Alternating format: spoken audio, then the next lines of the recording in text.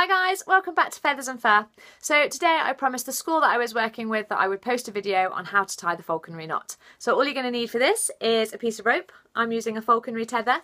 You might use a shoelace or a piece of string and then you're going to need something to tie the loop around. So whether it be the handle of a bucket or the arm of a chair, the leg of a table, anything to be able to make a loop. I'm going to splice the two videos together. My leash is going to go from red to blue magically.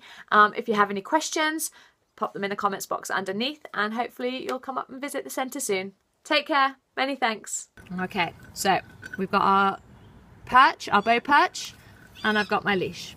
We're going to hold the bobble end of the leash in your left hand. We're going to hold the tail end in our right hand. We're going to pass it through whatever we're practicing on. So for me it's a bow perch, for you it might be the arm of a chair, the back of a chair. We're going to pass it through.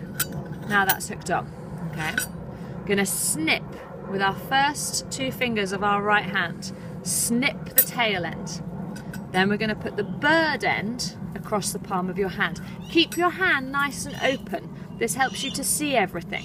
And if you keep it slightly tight, it will also mean that everything's not loose and floppy when you're trying to tie it as a knot. So tight across your hand. Now your thumb is going to come over the top of the one that's crossing your palm and pick up just above your fingers. Then you're going to come backwards. Now, can you see this is a bit important?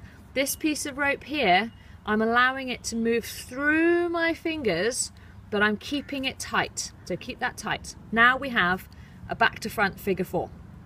Now, I'm going to come underneath. So at the moment I'm over the top. I'm going to come underneath both these sets of string here. So I'm going to come underneath all the way, all the way, all the way, and now my fingers are on the other side. Can you see that? Now they're over here. Now this is the difficult part. You're going to try and push into the top of your thumb. So you have to move those fingers. See how I've got them there? We have to move them, pushing it into this big hole made by my thumb now. You might have to come underneath to hold on to it, pinch hold of it, and pull it down and towards your bird. Can you see how we've made that loop? Now, we're going to pull the bird end. and You see that the knot travels back up to the loop here. And then I'm going to take my tail end and lock off through the loop. There we go. See? Now, no matter how much this end is pulled, that knot's going to come undone. Or even if I pull this end, it's just going to make my knot tighter. To undo my knot, all I'm going to do is pull out that tail end again and pull off down the bottom. I'm going to watch again. So, through, here's my bird end, snipped, over the top, pick up, passing through my fingers here, underneath both bits of rope, into the top of my thumb, pushing it down.